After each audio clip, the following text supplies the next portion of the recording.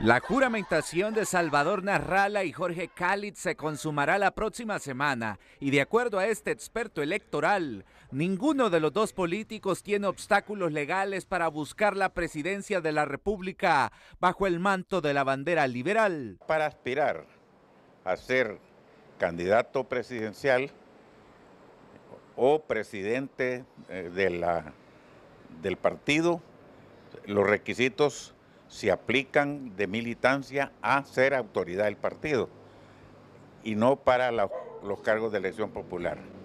De tal manera que desde mi punto de vista ellos no tienen ningún impedimento legal. El artículo 9 de los estatutos indica que el requisito de cuatro años de militancia solo abarca para quienes pretendan optar a ser autoridad del Consejo Central Ejecutivo, de manera que la algarabía desatada por el ingreso de Khalid Sinarrala se reflejará en las próximas elecciones primarias. Y así como hay miles de liberales entusiasmados con la incorporación de Narrala y Khalid, también hay corrientes a lo interno del partido que anuncian impugnarán la resolución del Consejo Central. El debate que gira alrededor de la integración de dos foráneos eleva las tensiones en el seno de la institución rojiblanca. Hay quienes creen que las normativas internas sí les impiden aspirar a cargos de elección popular, a tal punto que el movimiento Renovación Liberal objetará la resolución ante el CNE por ir en contra de la democracia.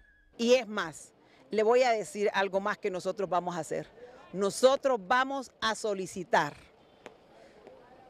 la renuncia de todas aquellas autoridades del Central Ejecutivo que se han prestado a violentar los estatutos del Partido Liberal pero en el narralismo señalan que no se ha incurrido en ninguna falta, pues si bien el reglamento del Partido Liberal equipara los requisitos para optar a cargos de elección popular con los requerimientos para ser autoridad partidaria, una comisión legal determinó que esta normativa no puede estar por encima de los estatutos, la constitución y convenios internacionales. Por lo tanto, esta institución política puede recibir a cualquier persona eh, para que participe en el proceso eleccionario eh, sin eh, ningún otro requisito que se lo obstaculice. Lo que sí no podemos hacer nosotros, porque eso sí está en los estatutos, es aspirar a un cargo dentro del Consejo Central Ejecutivo del Partido Liberal. Nosotros tendríamos que esperar cuatro años de militancia junto a Khalid Sinarrala.